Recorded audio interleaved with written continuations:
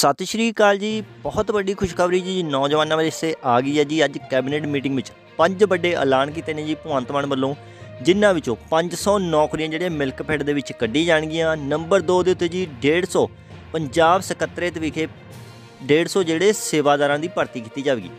ਨਾਲੇ ਇਸ ਦੇ ਜੀ ਸਕੂਲ ਪ੍ਰਬੰਧਨ ਨੂੰ ਲੈ ਕੇ 33 ਕਰੋੜ ਰੁਪਏ ਜਿਹੜਾ ਜਾਰੀ ਕੀਤਾ ਗਿਆ ਹੈ। ਨੰਬਰ 4 ਦੇ ਉੱਤੇ ਜੀ ਗਰੁੱਪ ਡੀ ਦੀਆਂ ਜਿਹੜੀਆਂ ਸਿੱਧੀਆਂ ਭਰਤੀਆਂ ਕਰ ਕੀਤੀਆਂ ਜਾਣਗੀਆਂ, ਜਿਹਦੇ ਵਿੱਚ ਸਿੱਧੀਆਂ ਨੌਕਰੀ ਤੁਸੀਂ ਲੱਗ ਸਕਦੇ ਹੋ ਜੀ। ਉਸ ਤੋਂ ਬਾਅਦ ਬੇਰਕਾ ਵਿੱਚ ਤੁਸੀਂ ਦੇਖ ਸਕਦੇ ਹੋ ਬੇਰਕਾ ਮਿਲਕ ਪਲਾਂਟ ਦੇ ਵਿੱਚ ਵੀ ਜਿਹੜੀਆਂ ਅਸਾਮੀਆਂ ਕੱਢੀਆਂ ਗਈਆਂ ਨੇ। ਤੇ ਬਹੁਤ ਵੱਡੀ ਖੁਸ਼ਖਬਰੀ ਹੈ ਜੀ ਇਹ ਨੌਜਵਾਨਾਂ ਵਾਸਤੇ। ਤੁਹਾਨੂੰ ਇਹ ਖੁਸ਼ਖਬਰੀ ਕਿਸ ਤਰ੍ਹਾਂ ਲੱਗੀ ਨੀਚੇ ਕਮੈਂਟ ਕਰਨਾ। ਬਾਕੀ ਇਸੇ ਤਰ੍ਹਾਂ ਦੀ ਅਪਡੇਟ ਵਾਸਤੇ ਆਪਣੇ ਚੈਨਲ ਨੂੰ ਸਬਸਕ੍ਰਾਈਬ ਕਰਨਾ ਨਾ ਭੁੱਲਿਓ। ਬਹੁਤ ਬਹੁਤ ਧੰਨਵਾਦ ਜੀ।